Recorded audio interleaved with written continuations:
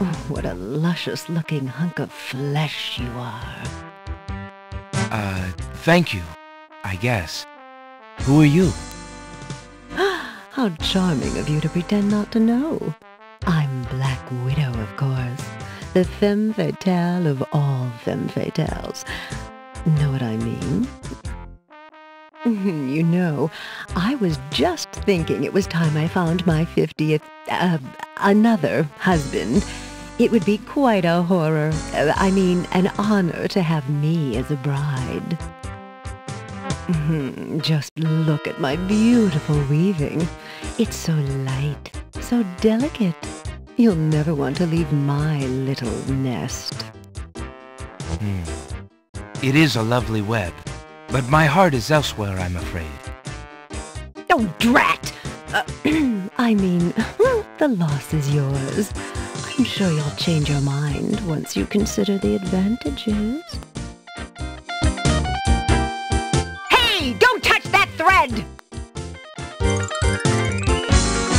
Alexander snatches the scrap of parchment, curious to see what's written on it.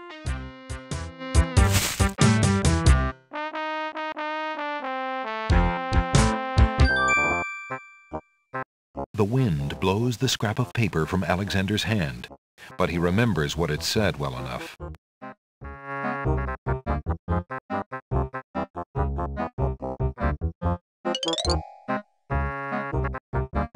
What do you think you're doing? I'm sorry, I, I didn't realize these books had an owner. I'm in need of a rare book. no owner? All books have owners, my good man. And this book owner, bookworm to you, wouldn't part with one of his books for anything. Isn't there something I can do for you to pay for the book? Hmm, uh, let's see. Do you have an itinerant clause? No. No clauses at all, I'm afraid.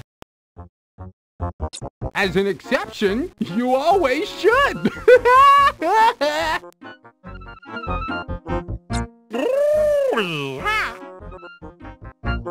Don't mind oxymoron and diphthong.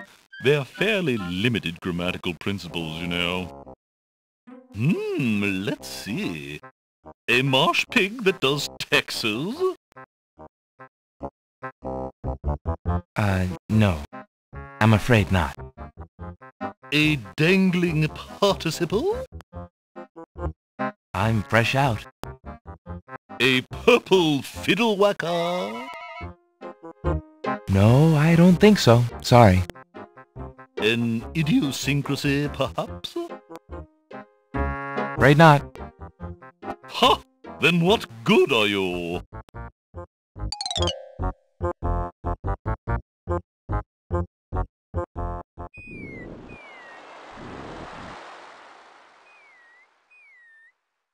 Alexander reads the love poem. What was it? What the name? Alexander pulls out his magic map.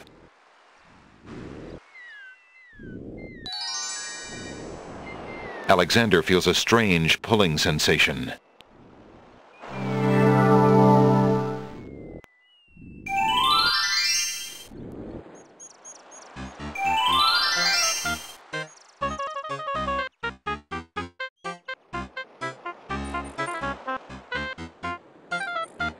Perhaps Alexander ought to find out more about the...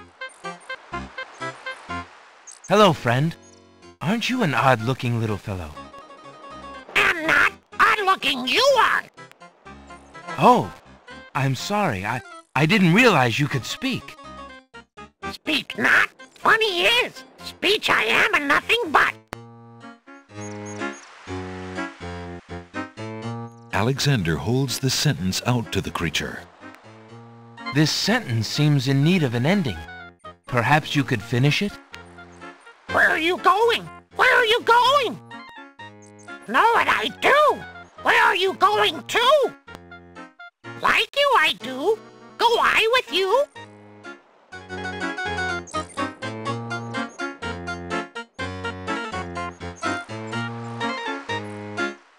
Well, that was certainly interesting. It looks like Alexander now has a passenger.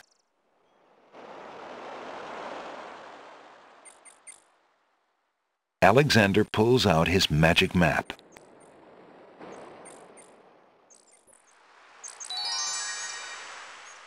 Alexander feels a strange pulling sensation.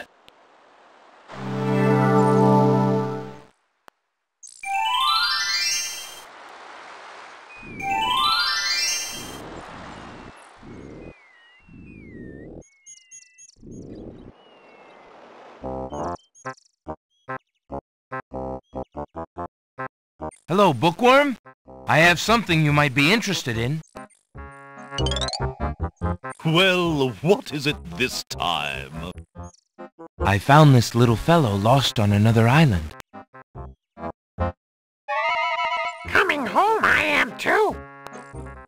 There you are, you naughty boy. I told you not to leave the island.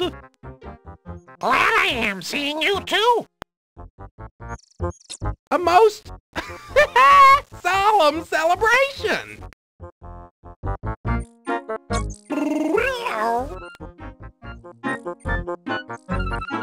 So, you found my dangling participle. I suppose I'll have to give you something. Uh, let's see now. Was it a rare book you wanted? Yes, sir. Well, then none of these will do. They've been sitting in the sun far too long and must be well cooked by now. This one is far more rare. A delicious little tidbit. Hmm. Uh, thanks.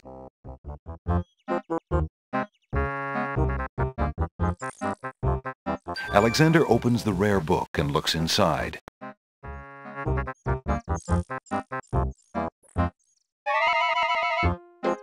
The book contains riddles and has a page missing.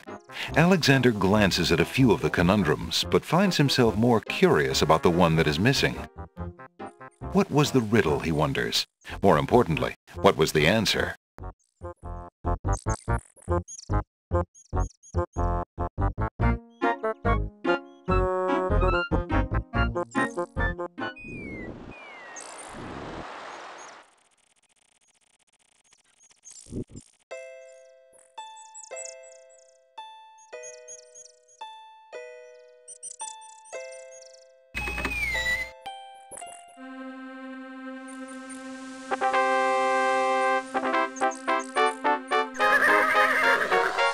Checkmate!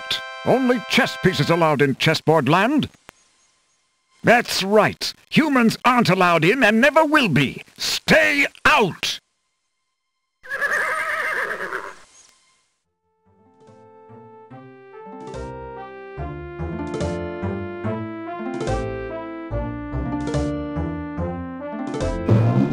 I must insist, your highness. I shall send the lump of coal to the Vizier and the princess as a present for their wedding, and that's the end of it. I suppose you'll leave me with only this stupid spoiled egg to send, your highness. I want to impress the new king and queen of the realm as much as you do. As queen of this island, I have every right to that lump of coal. Who isn't queen of this isle? The lump of coal is in my possession. Therefore, I shall do as I please with it. Besides, there's nothing wrong with that spoiled egg. Egg, though delightfully spoiled, is not nearly so valuable as the lump of coal, and you know it. Your Highness always got to carry the singing stone. It's not fair that you get the coal, too. That doesn't count. The singing stone was stolen by that horrid beast. I should get to keep the coal just because my stone was stolen. It wasn't your stone. It belonged to the Isle of Wonder treasury. Your Highness always thinks that everything is hers. Excuse me, my good man, but could you settle an argument for us? Which of us should get to carry the coal and which the egg? Remember, white is the color of deserving truth and virtue.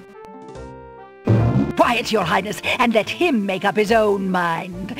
I, for one, shall be more proper, and not even mention the fact that red is the color of love.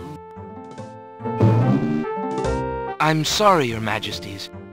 I'm partial to both red and white, but I'm afraid that I don't know how to solve your problem. One of you will just have to be gracious and allow the other the lump of coal. What a ridiculously stupid idea! Quite ludicrous. He was a lot of help, wasn't he?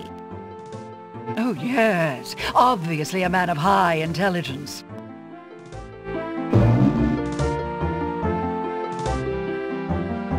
The lump of coal goes much better with my gown anyway. Black and red are imperial colors. That's the silliest thing I ever heard. Red does not go with anything, being much too self-conscious. White is the perfect accompaniment to any color.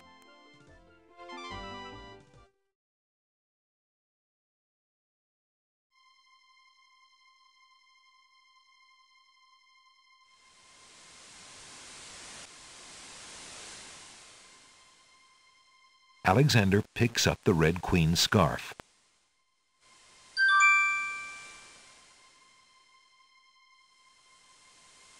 The scarf is made of red silk.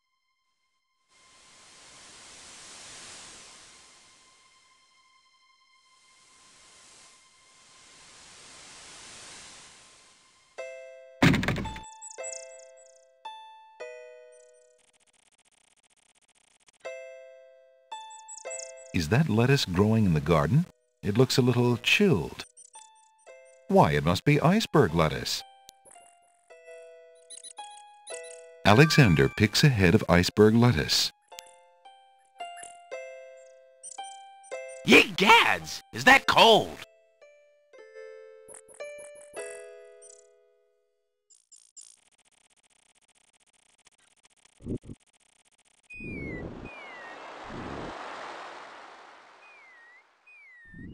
Alexander pulls out his magic map.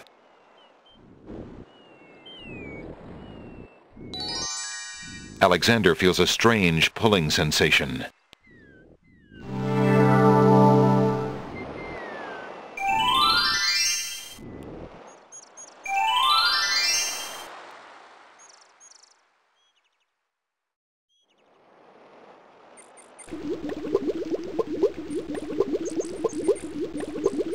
Hoping to cool down the boiling pond, Alexander throws in a head of iceberg lettuce. Pond's water slowly stops boiling, cooled by the ice. It still looks hot, but bearable. Alexander decides to brave the steaming pond. Ouch! Ow! Ooh, ooh, ooh, ouch! The pond is no longer boiling, but it's hardly bathwater. Alexander takes the old hunter's lamp from the tree.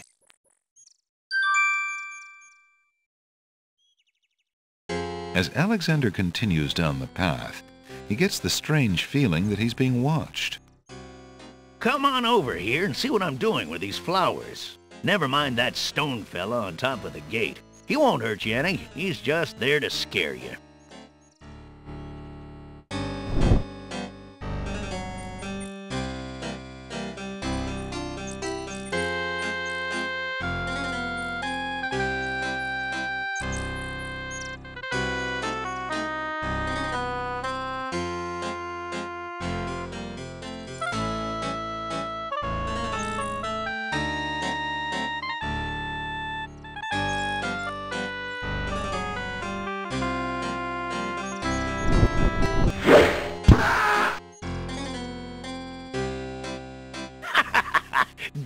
This time.